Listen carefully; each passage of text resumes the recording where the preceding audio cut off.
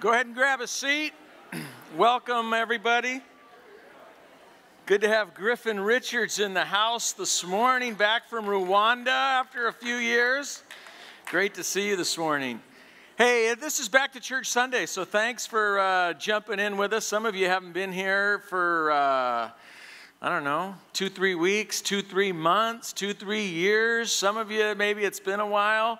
Uh, this is one of those, the doors are wide open. Uh, we're a church that says, no perfect people allowed. We're not taking attendance and uh, putting you on sin probation if you haven't been here in a week. So uh, we're just delighted that you uh, made a choice this morning to come and be part of this community as we seek God together and uh, open our hearts to Him and allow Him to touch and transform our lives.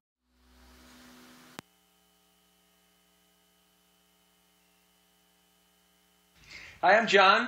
I am one of the pastors here at Ocean Hills, and you and I, hey, we're a lot alike.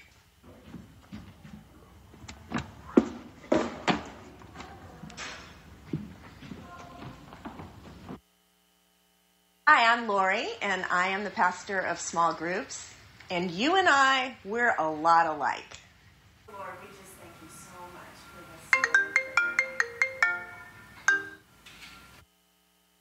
Hi, I'm Cozy, and I am the director of Early Childhood and Serve Team Ministries. And you and I, we're a lot alike.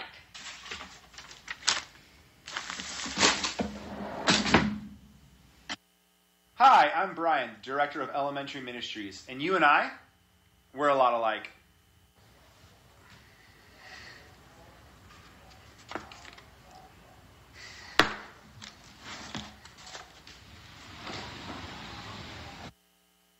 Hi, I'm Brad, director of our youth ministry, and you and I, we're a lot alike.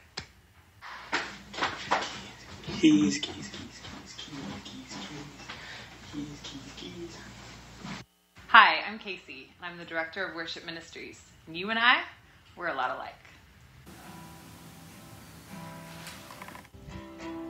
Let it go. Let it go.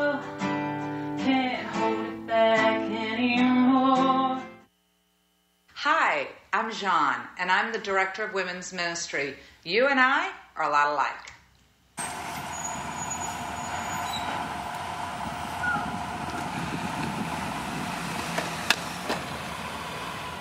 Hi, I'm Jono, the executive pastor here, and you and I, we are a lot alike.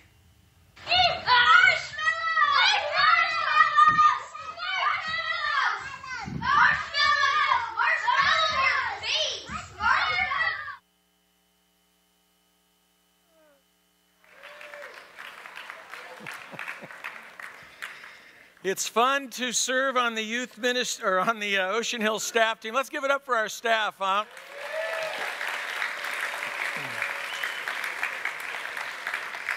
Sometimes when you make a video, you don't know if it's going to be funny or not, right? And uh, thanks to uh, our team who was willing to laugh at themselves and and maybe as I start this series on vision this morning, um, I can say in a very clear way that this is not a staff centered church. This is really about the staff being in it together with you. The word covenant, we're a covenant church.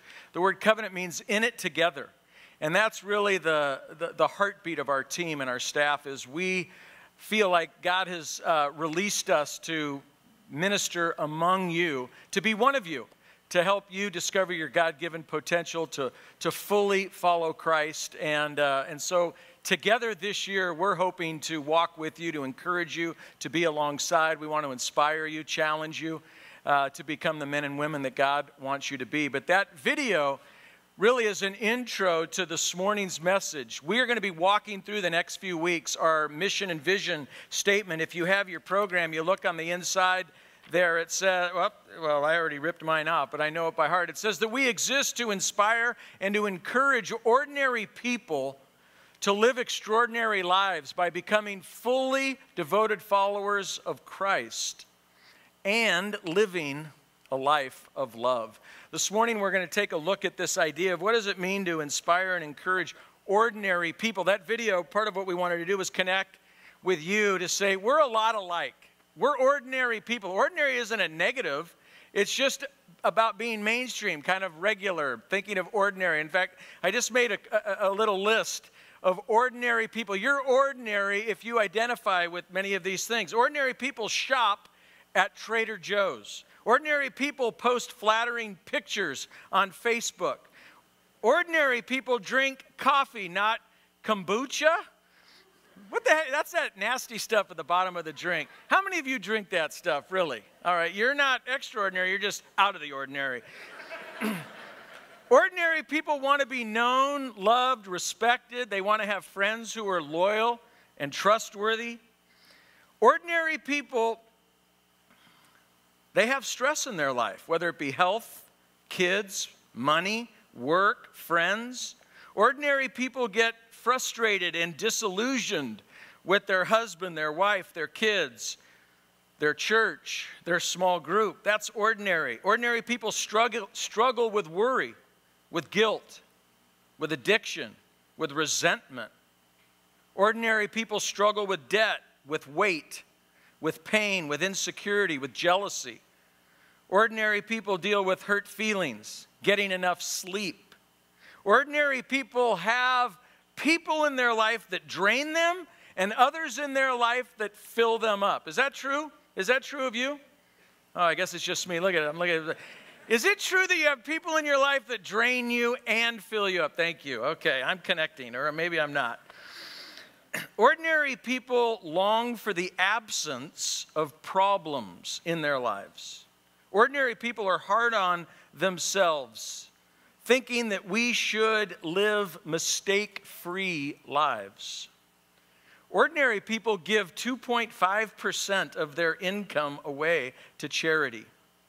Ordinary people say that we exercise five days a week, but really we exercise once or twice a week. Can I get an amen? amen. Okay. Ordinary people eat at CPK. Who here has not eaten at CPK? Raise your hand. Raise your hand if you've never.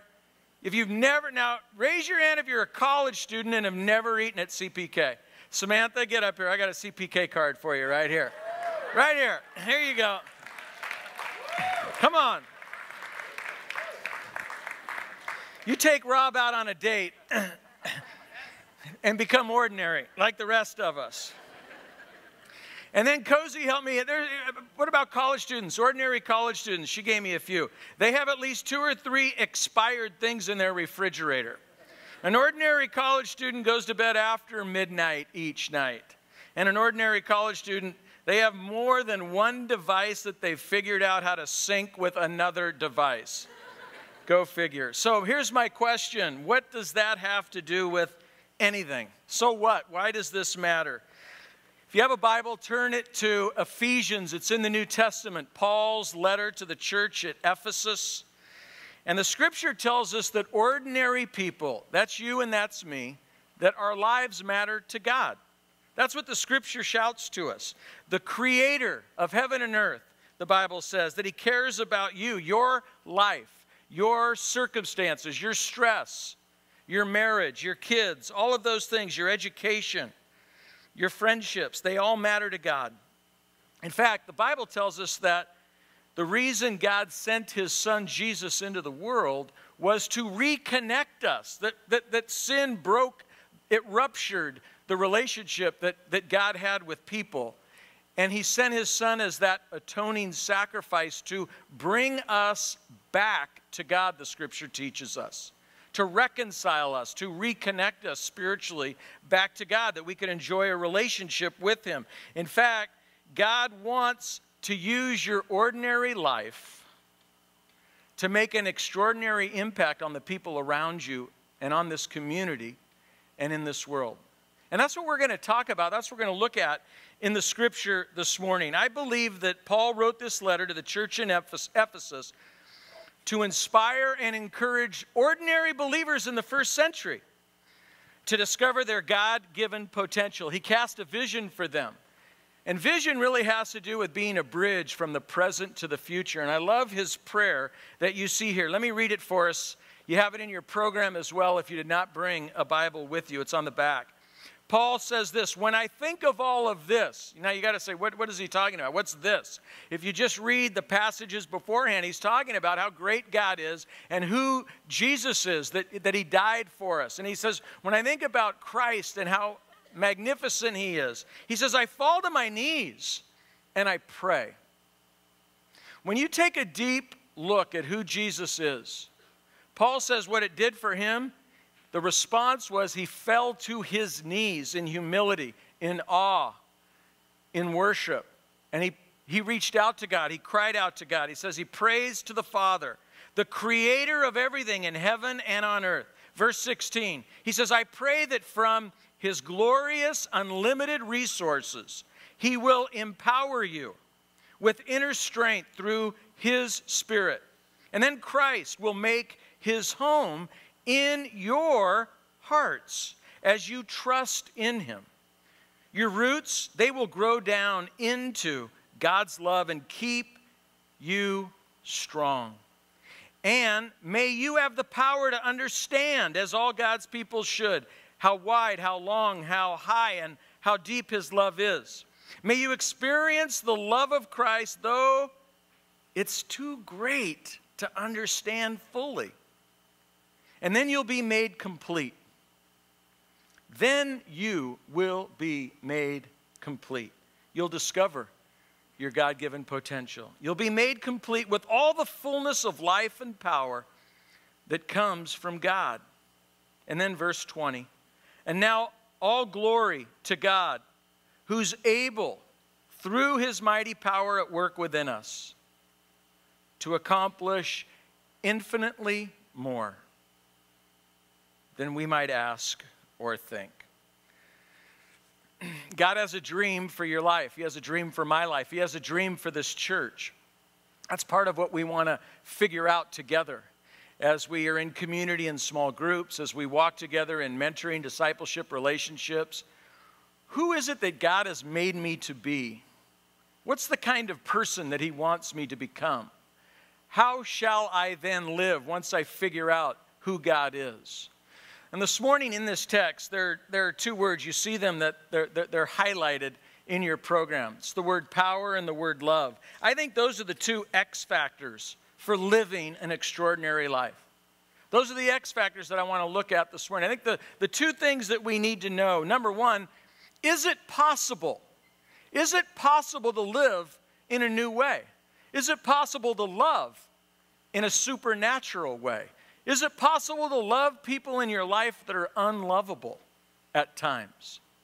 Is it possible to be transformed from being a taker to becoming a giver?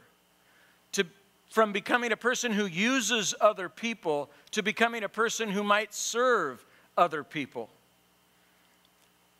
And so this morning I want us to look at that. Number one, the two X factors. One, we need to know it's possible. Verse 16, Paul reminds us that God's resources, you might want to circle this phrase, his unlimited resources. What does that mean, unlimited resources? There is no end to the possibilities, to the depths of God's power. The word power that's used over and over again, it means the ability and the capability, the ability and the capability of acting, of behaving the way that God wants you to act and behave to live and to love like Jesus Christ. That's what it means. God gives us the power to live in a brand new way. Look at verse 20. tells us that God is able, He is able. He's able to do what? He's able through His mighty power at work within us. What does that mean? God has taken His Spirit and He puts His Spirit inside a believer and He says, Now you are able because I'm able, I'm going to give you my power. I'm going to put my power within you. That's what he says. To accomplish infinitely more. You might look at your life and you might go, oh, I, I can't do it. My life's hopeless. I've always been this way. My personality is just that way. I've always been selfish. I've always been this way. And God sees you and He sees who you can become. And He says, I want to give you the gift of my Holy Spirit. And I want to place that spirit in you that will give you the capacity to live at a level that you've never, never experienced before. I can do something so great in your life if you'll allow me to put my spirit in you. And that's what he says God's power gives us both the capacity and the capability. Did you know that? The capacity and the capability to live and to love like Jesus. And so, is it possible to live a new life? Than the one you're living right now, those roommates that are already bugging you after one week? Is it possible to think about, wow, God is going to give me the power? God, is going to empower me so that I can love the people in my life that are really annoying, really challenging, really difficult. God's going to give me the ability to see how I can live an extraordinary life by living beyond myself rather than living for myself. He's going to give me the time He's going to give me the energy, He's going to give me the desire to serve other people rather than just standing around going, Serve me, serve me, serve me. Extraordinary life. We need His power. I, I, I was thinking of a story that happened pre drought. Let me just go on the record. This is pre drought story. So I don't want any nasty emails about me watering uh, my flower pots during the drought. I didn't do that. I didn't do that. But I want to say, gosh, maybe a year ago, Natalie, every once in a while, will say, hey, could, could you just water the pots? And so, of course, I go, I turn on the hose, and I start watering the pots, and I'm watering, I'm watering, and, and I'm watering over here and over here. And of course, you know, the hose, I'm stretching it, and all of a sudden the power gets cut off. There's no more flow of water. How many of you have had that experience? There's a kink in the hose, right? And so, what do you do? If you're like me, you, you shake it. You try and shake it out. Come on, come on, come on. And I've just found in this in this case this, in this story, I'm telling you, it didn't it didn't work. So what did I have to do? I had to walk back over here, and I had to go, oh doggone it! Look at this is where the kink is, and I had to take the kink out of the ho- out of the hose. And what happened when I went over here, took the time, took the energy, focused just for a moment, said I got to get this right, got rid of the kink, then the water flowed again. The flow was there, the power was there. Think about your life right now. God's power wants to flow in and through your life. But so many of us, we have a kink in our life, in our hose, and that kink is sin in our life. It's willfulness, it's selfishness. The Bible says that sin blocks our relationship with God, it cuts off His flow, His power. And so part of our job is not to just go, oh, I hope I could just kind of shake it out. No, our job as followers of Jesus is we've got to come back to God and we have to confess the kink. We have to say, yeah, look at, I'm part of the reason why I'm not able to live the way that you want me to live. That your power is not flowing through my life because I've made some decisions. I've acted in certain ways and it's, it's blocking, it's cutting off the flow and the power of God and His ability to, to live and act through me and love people through me. And so we have to confess our sin. That's part of the spiritual journey. I want to ask you a question this morning. I wrote it here in my notes.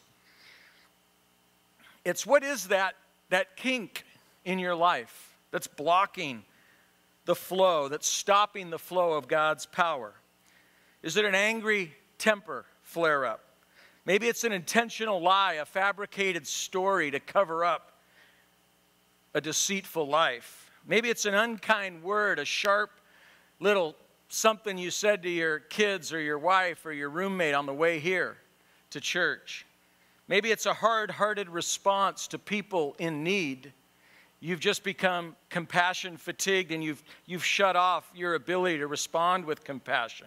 Maybe it's a peek at pornography that you're just going to take a little, it's not going to hurt me. And it blocks the flow of God's power. Sin blocks the flow. I want you to hear that this morning. And we can't just shake that problem out. We must stop and deal with it through confession. And you're going to have a chance to do that this morning at the Lord's table before we come to just get right with God, to deal with the kink in your life that says, wow, I'm going to acknowledge it, I'm going to confess it because I want that flow back in my life. It's going to give me the capacity and the ability to live in a whole new way. So here's the second X factor. The first is his power. It is possible to live in a new way. The second is we need to know that we're loved. That word love is mentioned over and over again. You know this, but let me remind us if a person grows up without love, it cripples their life, doesn't it? Imagine you as a baby, neglected, never held. Imagine a, a person grows up and they're abused by their parents verbally, emotionally, physically, sexually. Those things happen to ordinary people, by the way. And, and, and it cripples us, it scars us, it hurts us. And something happens in us that we are not capable or able to live and to love the way that God designed us to live and love. We need to know that we are valued. We need to know that we are loved. And God did not leave it to chance for us to do that. He sent His Son to die on the cross. He says, I don't want there to be any doubt whether or not you're valuable, whether or not you're a one of a kind, priceless original. I want you to know without a shadow of a doubt that you are my cherished possession. You're invaluable. I love you. And that's why he sent Jesus to die on that cross. Now, I've just explained that to you. But there's a difference between being able to explain love and experience love. Is there not? I can explain what love's like, and you kind of go, oh, yeah, whatever. But when you experience love firsthand, it touches you, you see it, you experience it, you feel it. It will transform your life. It will change who you are and who you become. To experience it rather than explain it is a big difference. I experienced love this week. How many of you are into fantasy football? Come on, how many of you have more than one team? Okay, I don't have more than one team. I got one team. But Wednesday night was our fantasy football draft. We were going to head over to my sister's house, Draft Central. We're going to have, you know, food and we're going to have the computer and we're going to figure it all out. And Alan Anderson, many of you know Alan, and Alan and my sister and I, and then we're on a conference call with my dad and my brother. We make this one team up and we have for years and years. So draft night's a big fun, whatever. We get to my sister's and somehow the computer, it's not working. It's like, oh my God, what are we going to do? Now, I've told my wife Natalie that she's going to have a quiet night alone, peaceful. I am going to be out. Just enjoy your evening. Well, it's like, what are we going to do, man? We, we got to go somewhere. Let's go to my house. We'll just go to my house. So we come barging into our house. We get the computer set up. We get my dad and my brother on conference call. And the Irelands, we're just loud talkers. I mean, we just are, some people call us the loud family, so, including my wife. But um, we are a loud family. So we're talking draft and we're, we're just blah, blah, blah, blah, blah. But as we come in, I, I, go into the back room and I go, Natalie, I am so sorry. I go, it wasn't, it wasn't intended to be this way tonight. I promise you. We were supposed to be at my sister's. It didn't work out, but you know, could I just get a little mercy here tonight? Is that cool? And she was so gracious. She said, That's fine. That's cool. It's all good. I'll be in the back room. You guys out there, enjoy yourselves. Well, then 15 minutes later, she disappears. We see her walk through the front door. She comes back. Next thing I know, she comes out. She serves us drinks. A few minutes later, she's made us dinner, serves us dessert. I'm going, Are you kidding? Now, I can explain that to you, but when you're on the receiving end of that, that grace, that love, that thoughtfulness, that kindness, that generosity, that's love. And when you've experienced it, when you see it, when you feel it, you know it. And that's what our dream is for you this year that you would not just be able to explain God's love. We want you to experience it. We want you to know Him intimately, personally, to have a relationship of love with Him. And that's what Paul is talking about in this passage. He wants you to experience this love that, did you, did you notice his language? It's beyond understanding. Look at verse 17. Says that God wants to take up permanent residence in your heart. He wants to make his home in your heart. Some of you didn't know that. The God of creation wants to make his home. Why? Because he wants to be near you. He wants you to know that you're loved. He doesn't want to be disconnected from you. He wants to be close, intimately involved in every aspect, in every corner of your life. His love, this love I'm talking about, that I'm explaining, that I want you to experience, it's just so complete. Look at how Paul describes it in verse 18. It's wide, it's long, it's high, it's deep. Wide. The love of God is wide. What does that mean? It's broad enough to reach out to every person on the planet. That's what that means. Jew and Gentile, male and female, rich and poor, young and old, gay and straight, every person on the planet, God says, My love is wide enough for you. Paul says his love is long. What does that mean? It means it continues the length of our lives. It never runs out. It even runs ahead. Are you familiar with that phrase, prevenient grace? It's grace that runs ahead of us. God provides, He protects, He knows what's out in front of us, and that love is running ahead. That's what it means that God's love is long. There's nothing that you can do or I can do to make God love you less. His love never runs out, it's unfailing. What about its high? It's high. It means it rises to the heights of our celebrations, our achievements. His love is there to affirm us and, and, and, and to say, Well done, good and faithful servant. And then it's deep. This love that is hard to comprehend and understand, Paul says, this is a love that is so deep that it reaches down into the depths of ordinary people who are discouraged, who are demoralized, who are burned out and drained and fatigued. This love grows and digs down deep where it can touch those dark places in your life. And then verse 19, just zero in on this for one moment. Paul says, May you, what's the word? Look at, look at your notes. Look at your program. What's it say? May you what? Experience. Experience what? The love of Christ. Not may you explain it. May you experience it. That's Paul's prayer for me, for you, for this church. May you experience the love of Christ, though it is it's too great to understand fully. It's hard to wrap our arms around it, to make sense of it. It's one of those aha, mysterious experiences. You know it when you experience it, when it touches you. He, by His love, will absolutely transform your heart and your life. And then here's what happens it says, verse 19, this love makes us complete with all the life and power that comes from God. In the NIV, it says that we would be filled with all the fullness of God. What does that mean? It means to be filled with all those gifts and graces that we see in Jesus Christ. It means that we would have our whole being filled with Christ like fruit and qualities, compassion and gentleness goodness and kindness, joy and love, justice and strength, mercy and truth.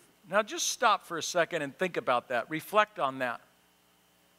Think about being part of a family of people who begin to live this way and love this way, who begin to live in an extraordinary way. That's extraordinary. Living like Jesus is extraordinary. And the vision is the future begins to look more like this we give more and we take less. We sacrifice more and we complain less. We serve more and we spectate less. We listen more and we talk less. We pray more and we judge others less. It means we choose transparency over hypocrisy. It means we choose forgiveness over bitterness and resentment. It means we will bear with each other rather than give up on each other. It means we will be devoted to building others up instead of tearing others down.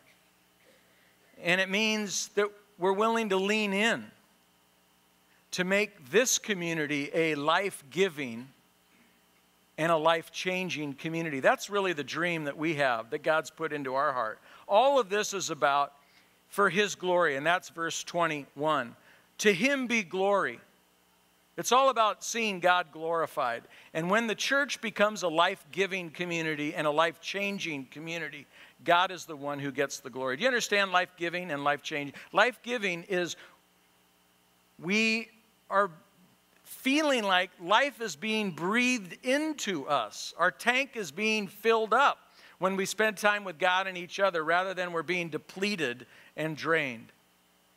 And we say this often here Jesus is the life giver, and He wants the church to be a life giving community. So when you come, your spiritual tank, your emotional tank, your relational tank is filled up. That's our dream for you. And life changing is about when you leave here, you're different than when you came in because you're part of a community that, that celebrates you. It's, you're part of a community that loves you, that forgives you, that tolerates you, that bears with you. And you help make that community. It's a life giving and a life changing community. That's our heart and that's our dream. And I'm supposed to be done at 11 o'clock and it's 10:59. So let's close in prayer. Take a moment to prepare your heart for this table. Take a moment to confess the kinks in your life. Just to get right. It's not about earning, but it's about asking for forgiveness, coming clean, letting God shine His spotlight into every corner of your heart and life. And you can do that feeling safe. He's already forgiven you, by the way. But when we confess our sins, the Bible says that God, in 1 John, God is faithful and just to forgive us our sins, to cleanse us from all unrighteousness. So I invite you to take a moment to do that.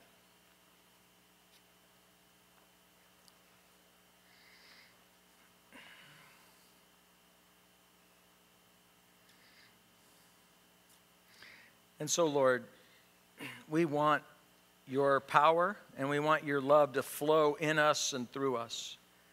And so, hear our confession. Wash away our iniquity, our sin, our selfishness. We confess our willful sins. Give us the desire to walk in your ways when we walk out of here. I pray that you would deliver us from guilt and shame and fill us with the love of Jesus Christ, who set us free so that we could become all that you dream for us to become as men and women. Ordinary people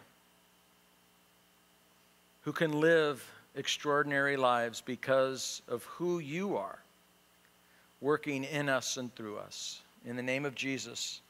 And everybody said,